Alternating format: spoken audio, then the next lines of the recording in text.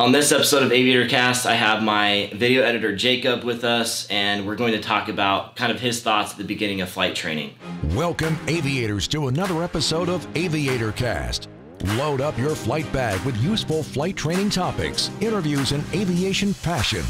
Let's kick the tires and light the fires. Coming to you from Angle of Attack headquarters in Homer, Alaska, here's your host and flight instructor, Chris Palmer.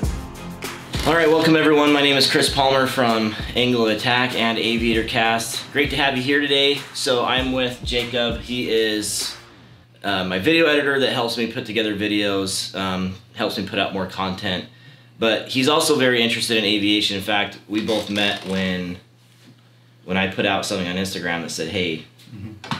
any video editors out there?" Yeah. And you were one of the first to to write me. So um, I just wanted to to get your thoughts today on on where you're at like mentally in the beginning of your training before you're getting into anything because you have you've never like fl- flown right mm, no. no. nothing in a logbook or anything nope no hours logged nothing like that just from uh, and i've told you a little bit this but i have family that two of my cousins both are uh, private pilots and have flown a lot and it was fun to watch their journey through that and I have a family history in aviation too and it's always been something that i've been interested in and have a passion for um, so it's something I've wanted to pursue, and then and finding this connection with you, has brought me even deeper, been a deeper dive into it. You know, really seeing it and being able to go through all the flight footage and really see the behind the scenes of it, and um, feel like I'm already picking stuff up. So. Yeah, yeah, for sure, osmosis.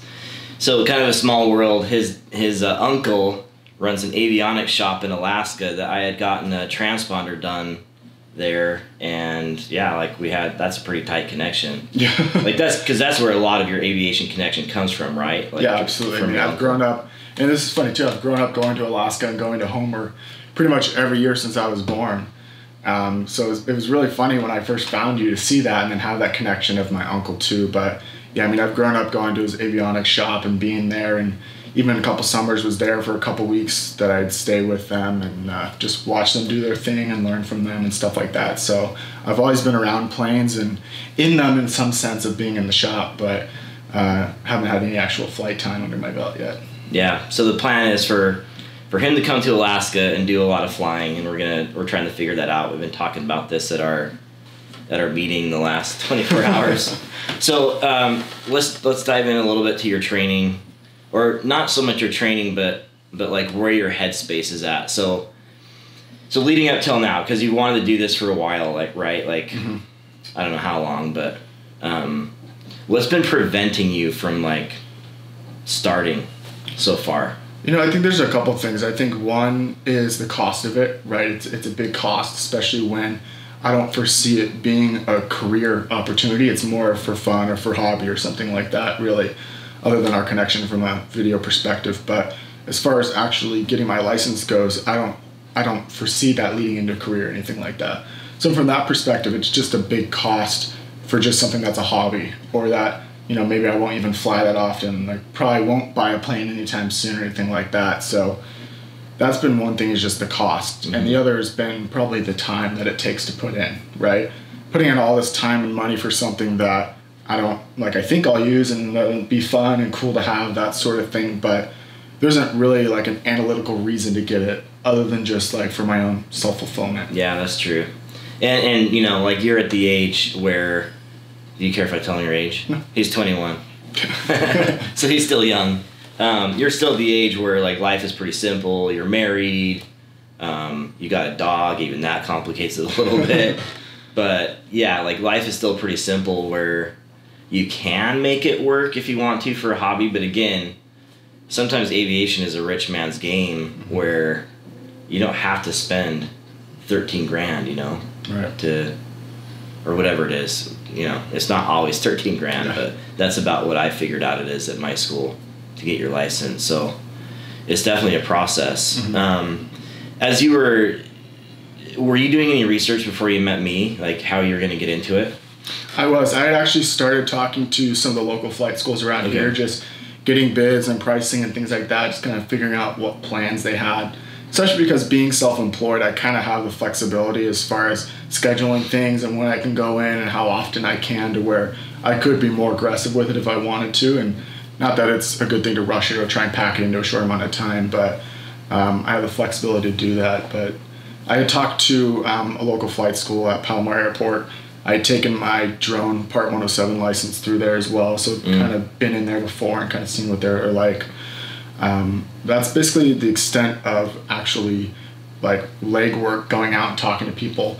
Other than that, just kind of online research about um, you know the steps and plans and you know is this something I should be doing? Isn't it something I should be doing? Um, kind of what to expect and you know watching YouTube videos like yours. Yeah. Um, just to educate myself ahead of time and just you know get a deeper sense of what does this entail? Is this something that looks interesting to me still? And then go from there. Were there any drawbacks or things that were like holding you back during that process? Like, I don't know, like who you talked to at the flight school or lack of information? Like, what was your feel of of things out there as you went through it? Yeah, I mean, it definitely was a little tough in the beginning. I felt like it's just like this such a big thing that I'm diving into and looking at, especially being, you know, I've probably been looking into this for about a year. So newly married, I'm like, hey, can I go spend, you know, 13 grand or whatever it is to go and get my pilot's license that, you know, probably fly an hour a month or less. Yeah, but yeah. Whatever, you know, and actually have it. So um, it definitely was a little bit of a process. It just seems like it's such a big, daunting thing, and that there's so much that I need to learn and find out about it. And it's like, okay, there's so many different resources. It's kind of like, but there, there are and there aren't um, so many different places. And it's kind of like, who do you trust? What do you listen to? What's the right information? What's not? And even at the flight school, you know, there was some like lack in communication, even just in like the early stages.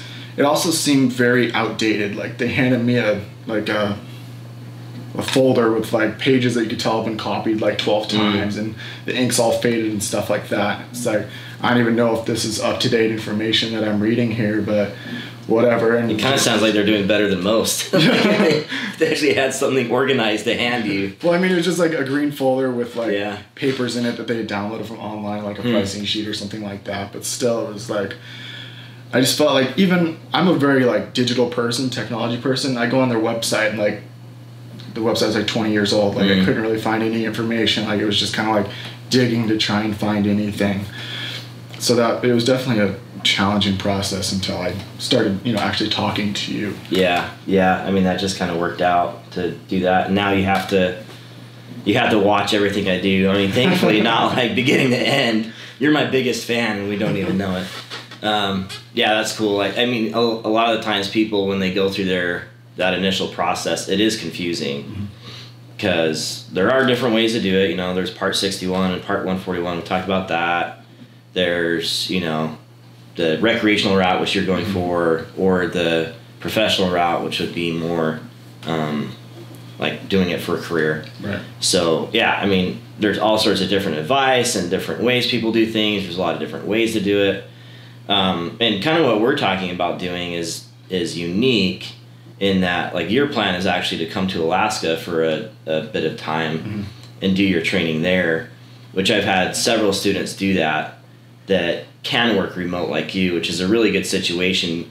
And something I did, like I did my, I did my commercial CFI and CFII all out of Alaska because I wanted to broaden my experience. But I could also go and seek out the best flight schools out there. I know that's not an option for everyone, but Right. um, if you're listening and you haven't thought of that before, that's always something that you can try to figure out to do. Um, so let's talk about just briefly, and I may, may even back uh, backtrack to the beginning of kind of your thoughts and stuff, but I think we might have covered that. Um, so we're talking about doing everything within a month time frame. Your license. That's kind of what we talked about yesterday. I know we Yeah. just briefly covered it. So, what are your thoughts on that? Like, when you hear a month and you're going to be training, like, how do you feel about that? Well, you know, I mean, I think it's a little confusing because you hear the the forty hour requirement, right? You're like, Mhm. okay, well, eight hours a day, five days. You know, let's knock it out in five days straight. Just go crazy. but you know, obviously, I know that's not you know, reasonable to shove Yeah. eight hours of training each day in and Mhm. stuff like that. And there's a lot of on the back end stuff that I've learned that I need to do my own studying on the back end um, when we're not actually out flying. Yep, So yep. um, I don't know what to expect. It seems like from hearing from you, that's a pretty aggressive timetable probably Yeah. to do it.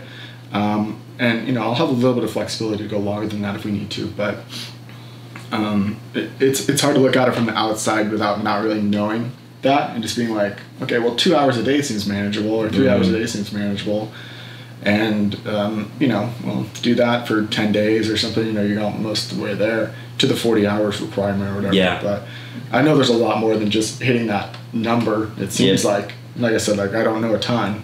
But Yeah, there is, and, and so just to to tell you, like, for every one hour of flying you do, typically you have three hours of study. Like, you know, I've already told you you need to get your light your um, written test done, but even then, looking at maneuvers and studying things again and like applying it to the actual airplane. If you want to do it like really tightly, then that's how it's done. Which is probably not like for you. It's probably not exactly going to be that ratio because you're young and you can still learn really well. Um, we are going to be on a compressed timetable, which means you're going to be taking advantage of recency of experience. We are going to try to shoot video the whole time, so you're going to have the opportunity to actually, for your study, watch the video of your last lesson, Right. which helps you retain that quite a bit. So, I think, I think there's definitely more wiggle room in there, but you know, then then we have time built in for maintenance issues if there are any, for weather, which will absolutely happen, um, for my family stuff, which I've got to still keep up on.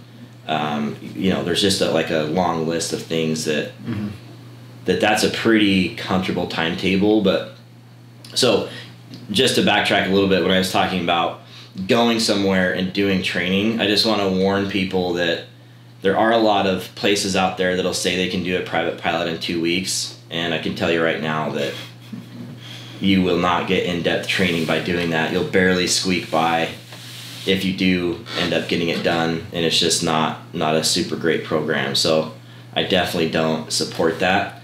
But I know that for you, like coming to me, like I can I know that I can like create my own program that way, but I'm also not telling you we can do it in two weeks. Like that's Right. not a possibility. Yeah, yeah, you're very upfront about that. You're like, we need at least a month, if not more. Yeah. Like we don't want to rush this. We want to take our time and do it right. Yeah, I feel like too. I'm the reason I want to come up there to do it remotely instead of just finding somewhere here, even though it's two very different places as far as airspace and Yeah. traffic and things like that go. Is I've grown up going to Alaska. I mm-hmm. know the area. I love Homer. I Yep. love it there, and it's also very, in a sense, rough flying from the standpoint of you know you're flying to you know grass strips or things mm-hmm. like that, and just dealing with potentially people that might not be on radios all the time, or just like you deal with very rare situations. I feel like Yeah. and even with weather, with you know potentially the winds and things you can get in a Homer, I Mm-hmm. feel like it could be much more aggressive there than weather situations I will probably be faced with here in Southern California in some aspects. I think that's number one. I think number one is the weather that you face there, Mm-hmm. because down here, I mean,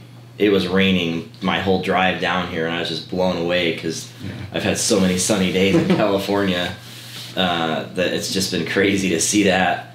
So yeah, weather there is always a factor. Like every single day, it's like, hey, are we gonna fly or not? Because Yeah. there's probably gonna be weather. Summer's a little bit better in, in August, which is what we're talking about. is an amazing month. It's my favorite month in Alaska. Um, so I think we're going to be set up pretty good there. We've got longer days as well. Um, you know, anywhere you train is going to have the different, the different challenges. So the challenge down here is the busyness. It is very busy, and and like your airport here, we were looking at it on ForeFlight, um, Oceanside Airport, which it, it is it's I don't know if that's where you'll actually fly eventually or if you'll fly out of Palomar, but it's right up against the restricted area of uh, Camp Pendleton and right up against their Class Delta airspace. So you're like sandwiched in between everything, and if you go any distance south, then you're getting into Bravo for San Diego. right. So that in and of itself is a completely different thing that Alaskans would be like, oh my gosh, I'm gonna die if I go Yeah. down there and talk on the radio. And that's the cool thing using your license to like fly in different locations is you you take you take what's useful from there. Right. So because down here, I mean, to have the weather, the weather and the wind and, and that sort of and the short fields that we'll go mm-hmm. into, have that sort of experience is going to be something you have in your back pocket. Yeah. But you'll be terrible on the radios for a while. and I guess I'm, and, it's interesting because I'm not so concerned about penetrating airspace or the radios or anything like that. Like I feel like I could learn those things and figure those things out, but it's knowing I want to train in like the harshest conditions from a flying standpoint and just the craziest things that probably won't have to do a lot of times. And that's even when I got my driver's license, I learned to drive in a stretch bed F three fifty dually Damn. truck. Like, that's what I drove in. That's how I learned to drive, and it was like the harshest driving conditions, the biggest truck on the road. You know, so it's like it's almost in that same way. Like I want to set my standards high for um, learning and not harsh conditions, but you know different conditions and push myself. So I have those things in my back pocket and Yeah. I do them. And And I think what you learn pretty quickly with me is that um, I'm really big on the fundamentals of flying the airplane, and and that that simplicity of how to fly the airplane will carry through no matter where you go. So right now it may seem you, you know you know Alaska, so you've been there when there's been crazy storms and weather. You were just there a couple weekends ago, but I think once you once you get like maybe halfway through the training, you'll realize this isn't so bad. Like the Right. conditions aren't as bad as I thought they would be but I know how to fly this airplane really well, and I can take that with me forever. Like no matter where I fly, I'm gonna Right. know what the wing is doing and what what I should be doing, which I, what I should be looking out for. So that's my initial goal, especially before solo, is for you to kind of come to that place, and then from there it's you know doing cross countries to see Yeah. your uncle up in Yeah. And stuff. So yeah, cool. Um, so what else are is there anything else you're apprehensive about when it comes to flight training that you're that you have questions about or I mean, really, it's hard because with the accessibility of YouTube and things like that, and the amount of people that do post videos and things on there, I do listen and watch a lot of those things. Sometimes people that are in really busy airspace and intentionally seeking out those videos of people that are flying into deltas and bravos and areas like this, so I can listen to the radio calls and hear how they request different things, whether that's flight following or just going through busy airspaces. Because I I like to listen to ATC and just hear um, that. So I, I am interested to see how what I think I've picked up from YouTube translates to actually being in a cockpit. Yeah. Because I, I feel like I know stuff and I don't want to like go out there and be like, oh, I know what I'm doing. Because Yeah. I don't at all. But I want to, I'm really interested to see how what things I think I picked up from watching videos on YouTube or training or different situations and how those translate to doing that, especially because I see how much of your flying happens and I see the procedures and the checklists and things like that that happen. And I see it from engine start to you know shut off at the end. Like I see everything Yeah. sometimes. So I really got to watch it all the way through and it, it's different because I can't be manipulating the controls to feel know, Yeah. that but I can see when someone's doing something the suggestions that you make and things like that in those situations so I mean I, I'm apprehensive to I don't want to be overconfident getting Yeah, in for the good. first time, and that's where it's like I'm trying not to think that I know anything because I don't want to think that I do and get in there in that situation. But I'm also interested to see, you know, just from like I talked about, from seeing what I've seen on YouTube and learning things like that, how that will translate. If Yeah. that'll be a good thing that I know some of that stuff, Yeah. or if it won't, we'll have to, you know, rewrite over all that stuff. Yeah, I- think that's a really healthy perspective because that's exactly how I would approach it. Is a, you know, you- you're getting a lot of things from osmosis already, or you already have a head start in the fact that you have a, you know, kind of an aviation family that you're in. At least some people are in aviation, so you've been around it, and then um, you have your drone license. You know, those things are a head start. Like you've already started to learn some of the material, so you kind of know what you're getting into there and then YouTube and online information, which can be good, but it's often incomplete. But there is a lot of good stuff there. Like I, you know, I often give people the advice that they should be on YouTube, just especially when you're not flying or you're getting ready to fly, to start to absorb that. Um, and uh, and there's a lot to learn there. Um, I'm gonna bring up this. I, I think it's okay to bring it up because I have to say something about it, but I don't know how much I want to say about it, but this will be enough to just touch on. There was a recent video on the impossible turn, which is probably a really good example of learning something on YouTube, but also being apprehensive about how good the information is.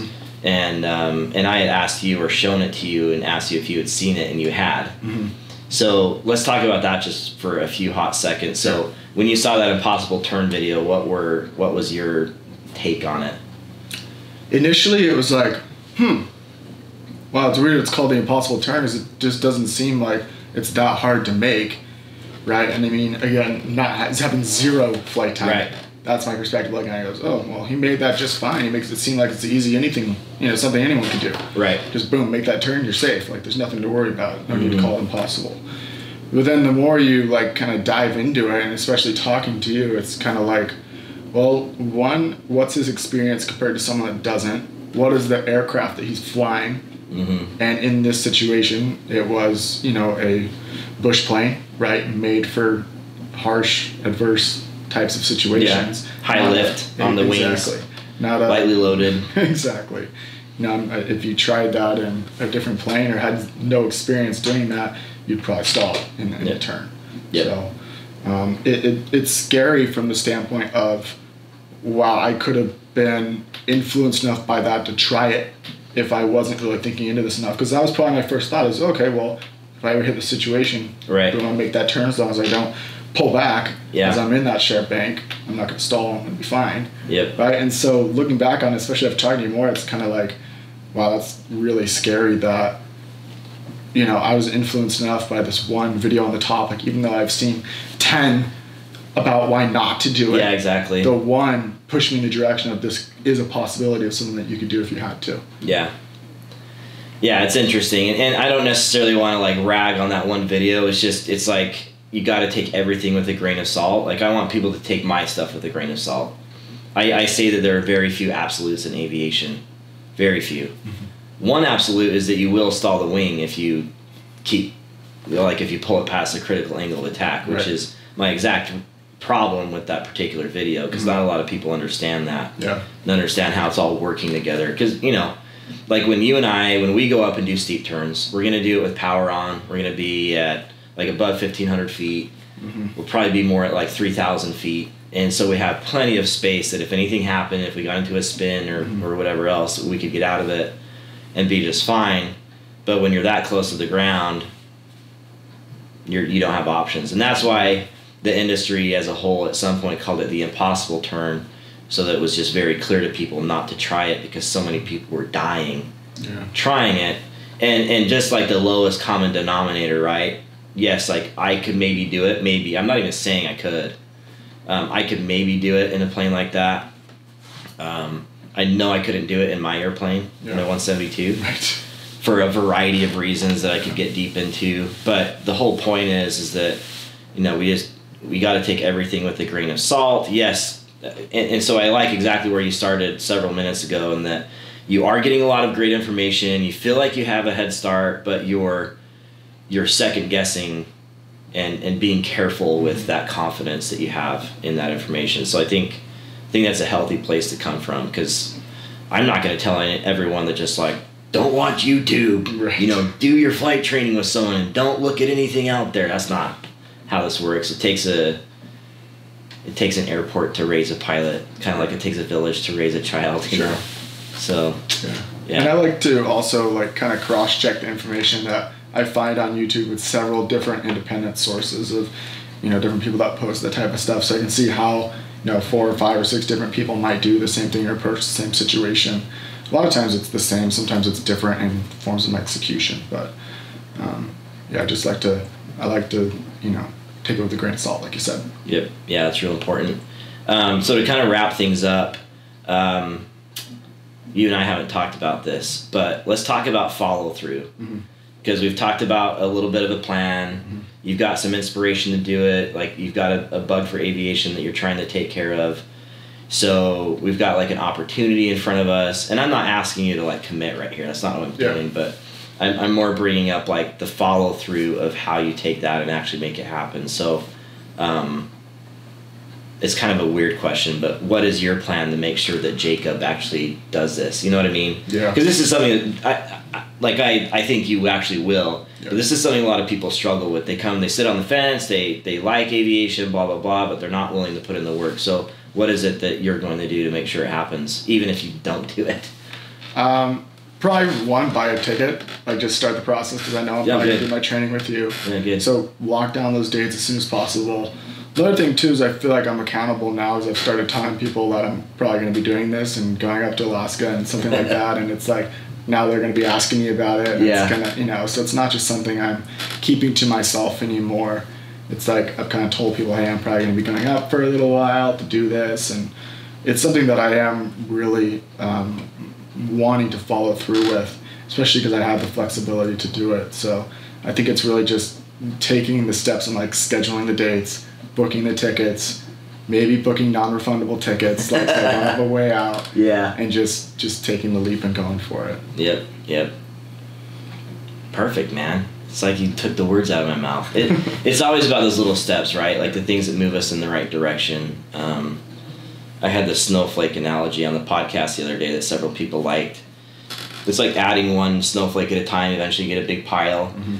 That's kind of what learning aviation is is all about. And uh, yeah, I mean, taking those steps to like almost force yourself into that situation is is the best. Like yeah. that's what I've always done. It's like once I really commit, then I start to put the pieces in place. And you'll have to recommit yourself too, because it'll stuff will come up like, yeah. you know, you and I and your wife have this common bond now because like the world went apocalyptic last night with coronavirus, and we're like, what's gonna happen to everything? Where are we gonna get our toilet paper? Exactly. 7-Eleven. Yeah, 7-Eleven. That's we found toilet paper at 7-Eleven so you know like things happen and and and they'll happen in your life you have a pretty simple life right now but mm-hmm. they can happen in your life they can happen in a society everything like it can kind of go to crap right. but then it's like okay yes that's a roadblock in front of me how am i going to get around it you know did I build a great off-road vehicle that I can just like baha off the road and then get back on track, you, you know? Yeah. So that's good, step by step. All right, everyone. Thanks for joining. Um, just I, I just wanted to have this conversation today to show you that there are other people that are going through this process in the very beginning, and there's not always complete and total answers. But if you just take it one little step at a time, that's largely what my content is here for. So if you do have any questions, you can send me a direct message. Um, Jacob is helping me do Motivation Monday every Monday, which is where I answer questions about flight training and aviation careers that'd be the perfect place to uh, ask some of the things that we kind of touched on today or whatever you're struggling with. And if you guys need any help along the way, just let me know. Direct messages on Instagram are one of the best ways to do that. Also, I have ground school, which is a big part. You're going through my ground school right now. We're even talking about ways to improve it. Uh, I have ground school on angleofattack.com that you can do video ground school and get your endorsement, which allows you to take your test and that's what you need for the end of your at the end of your license when you take your check ride. And then I also have Check Ride Ace, which is a preparation course if you're getting close to that. So, um, thanks for being here. Thanks, Jacob, yeah, for all for he does. Me. He's uh, he's magic behind the scenes right now, so he's really helping out with a lot of this content. So, if you write nothing else in the comments, write thank you, Jacob, for helping us out with all this stuff. All right, guys, thanks for being here, and until next time, throttle on. We sincerely thank you for joining us on Aviator Cast. Please subscribe through your favorite podcast service and leave a review. Check out more flight training resources at angleofattack.com. There you can find this podcast, many free aviation training videos, as well as online ground school for private instrument, commercial, and CFI. Got a check ride coming up? Check Ride Ace from Angle of Attack is your ultimate companion guiding you through the process so you can conquer your big day. Thanks once again for joining us on Aviator Cast. Turn left, contact Ground Point Niner.